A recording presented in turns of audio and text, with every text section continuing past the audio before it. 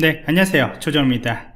어, 이번 시간에는 캠타시아에서 저희가 뒤에 배경을 놓고 크로마키 효과를 줘서 뒤에 배경을 투명색으로 바꾸는 방법을 좀 설명드리도록 하겠습니다.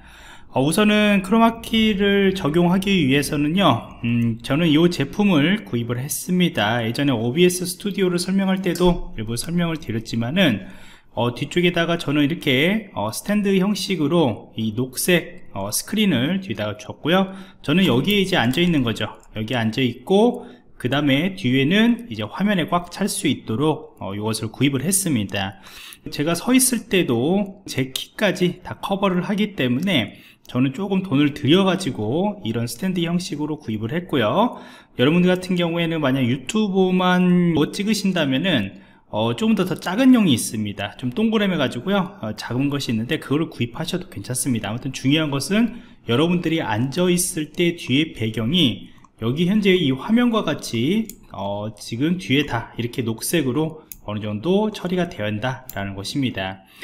그래서 이런 식으로 녹색을 처리하셔도 되고요. 꼭 녹색만이 있는 것은 아닙니다. 어, 캠타시아 쪽에서는 우리가 지정한 색깔을 이제 크로마키 적용을 할 수가 있어요.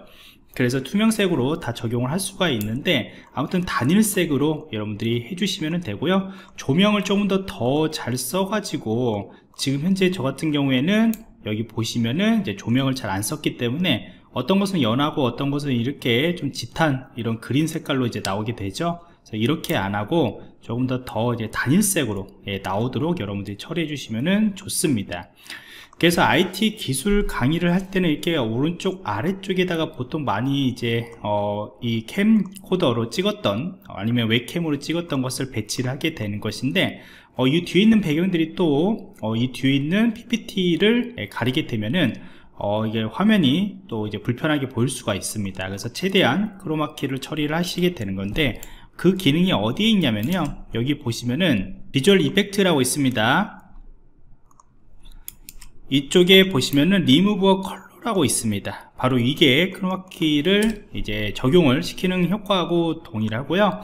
자 요것을 이제 끌어당겨 가지고 이쪽 했던 곳에다가 적용을 하도록 할게요. 그래서 위에 카메라고 하는 부분에다가 저희가 effect 효과를 줬고요. 오른쪽에 보시면 이제 속성이 있습니다. 속성 보시면은 이 컬러를 선택할 수가 있어요. 지금은 요런 색깔을 기본적으로 처리하는 걸로 되어 있기 때문에 여기하고 지금 매칭이 안 되기 때문에 적용이 안 되는 거예요. 물론 이제 일부 색깔들이 이제 조명을 하면 적용될 수가 있겠지만은 제가 아까 말했듯이 바로 요런 색깔이 제일 좋아요. 예, 적인 조명으로 이렇게 단일 색깔로 명확한 어, 이렇게 색깔 녹색으로 되시면 좋습니다. 그래서 여기 보시면 이제 스포이드 있죠? 요것을 클릭하시기 바랍니다. 그 다음에 최대한 이제 여러분들이 처리할 부분들이 있는데 한 중간색 정도에서 아니면 좀 진한 색 부분 요, 요 부분을 선택하시는 것이 좋아요. 그래서 선택을 하시면은 이렇게 없어지는 것을 볼 수가 있겠죠. 자 그런데 이제 문제는 뭐냐면은 어, 제 모습까지 어, 사라지는 것을 볼 수가 있습니다.